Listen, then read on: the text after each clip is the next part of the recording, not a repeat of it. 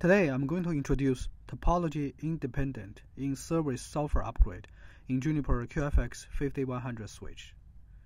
After the talk, I will also run a lab test to demonstrate the performance of ISSU on QFX 5100. ISSU should be a familiar concept to the people in the networking industry. It upgrades the operating system in networking device switch routers while the system is up running and continue forwarding the package.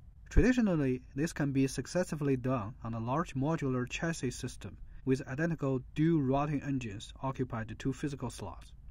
In a single RE system, some vendors try to reload the single RE during the upgrade in the hope that traffic is continuously forwarded. But this brings up some challenges that, first, even it works, without the RE, the traffic is forwarded blindly. Secondly, this approach has very limited protocol support, requires very restricted topology support. Typically, it can only be done in a pure layer 2 topology with many restrictions. In addition, during the reset, the system is exposed without any control plane functions. So this typically lasts 3 to 5 minutes. So frankly, this is not a real SSU. Now, advanced Junos architectures has really changed it and bring the true SSU to the top of rack 1RU switches. So this is how that can be done. In QFX 5100, Junos actually run on one of the virtual machines, which runs on top of the KVM hypervisor with CentOS, which in turn runs over the actual physical switch hardware. So similar to x86 virtualized platform, this Junos virtualization architectures virtualize the operating system of the switch and make it possible to enable many advanced functions that is not possible in a traditional switch.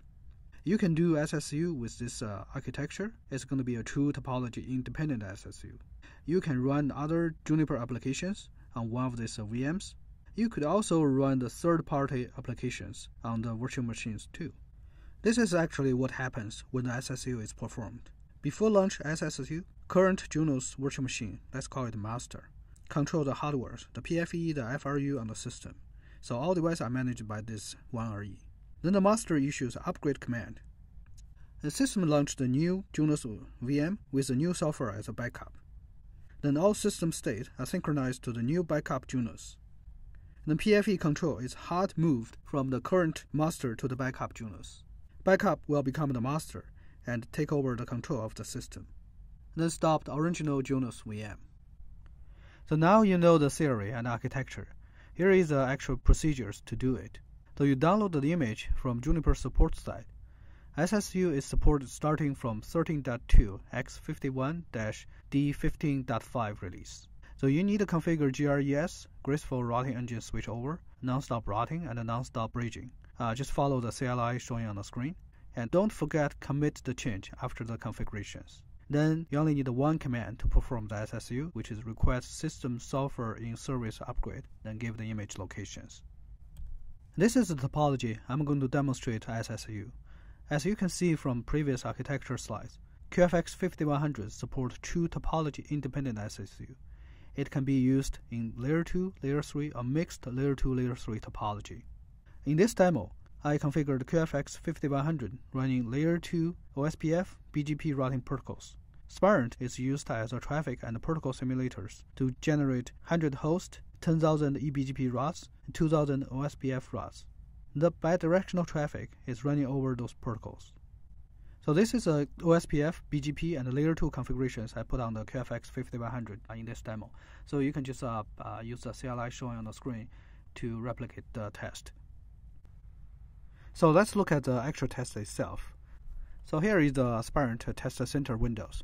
So I have used six interfaces. Two of them are in uh, layer 2 configurations, and two of them are in the OSPF, and two of them are running uh, BGPs. On the traffic generators, I have the bidirectional traffic running over those uh, protocols. As you can see under the OSPF, I have uh, interface 3 and 4 uh, running OSPF. They uh, establish the full relationship with uh, their OSPF uh, neighbor. And on the BGP interface uh, 5 and 6, they established the BGP neighbor relationship with our BGP peers, with our QFX 5100 peers. So we can also look at the OSPF and BGP routes from the switch. So on the switch, we can do show uh, OSPF uh, neighbor details.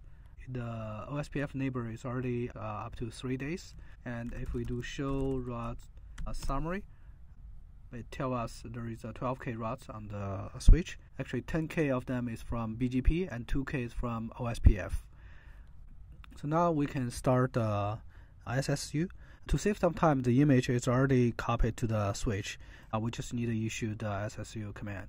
But before do the SSU, let's just uh, start the traffic so we can uh, measure the traffic loss during the SSU. So let's go to the traffic stream block. And as you can see, the traffic stream is already configured for the layer 2 OSPF and the BGP protocols. I'm going to start the traffic.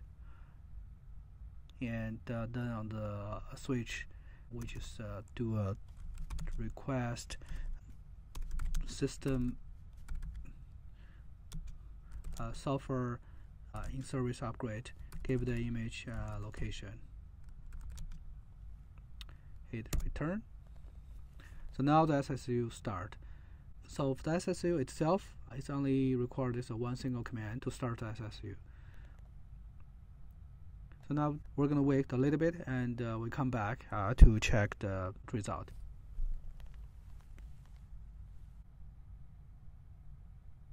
I'm coming back. I think uh, SSU is done. Let's check it out. Yes, it is done. So we log in again. So let's check uh, OSPF neighbor. Okay, there's no flapping. The OSPF neighbor is up uh, again more than three days. Show uh, summary. It's 12k routes. It's also present on the system. So this is great. It uh, looks like uh, we got successful SSU.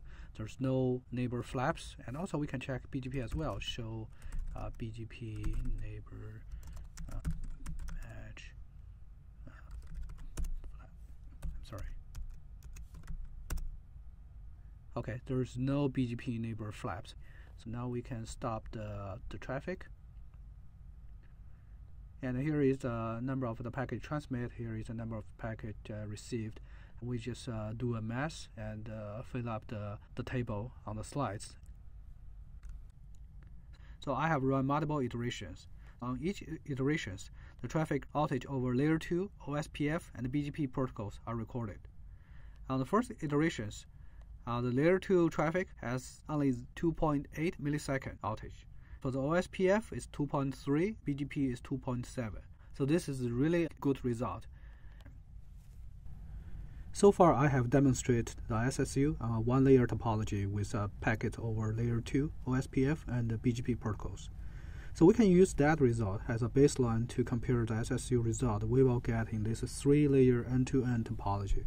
So here, as you can see, the BGP OSPF protocols is running across all these three layers, data traffic will be sent on top of these uh, protocols uh, across those uh, three QFX 5100. And similar skills, a similar setup from the traffic and the protocol generator will be used, uh, which is 10K BGP routes, 2K OSPF routes, and 100 host. Uh, so when we do the SSU, so all the switch will perform uh, SSU simultaneously uh, in the whole topology. So think about that. You can potentially upgrade your entire DC network simultaneously with uh, SSU.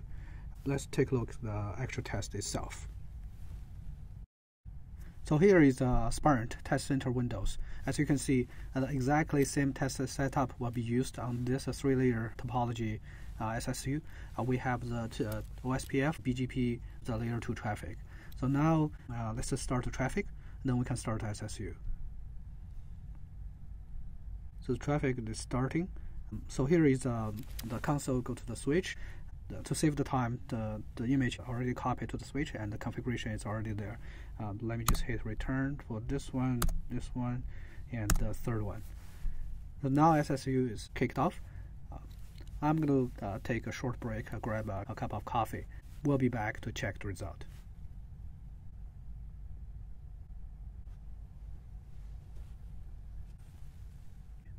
Looks like the SSU is finished.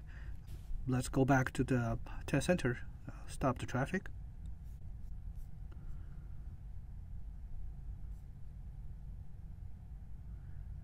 All right, uh, so let's count the package and uh, see uh, what's the traffic outage. Here is the test result based on the test I just did earlier. Just for the comparison, I also list the result from one layer SSU test. You can see in Table 1, one layer topology, the traffic outage is about 2.2 to 2.8 milliseconds. In Table 2, you can see in a three-layer topology with bidirectional end-to-end data traffic running over dynamic routing protocols. The traffic outage is only around 6 or 7 milliseconds. Those are excellent results. So Just think about that. You can upgrade the whole data center switching infrastructure live without any application downtime with QFX 5100. So this concludes our SSU demonstration. Thank you for your time.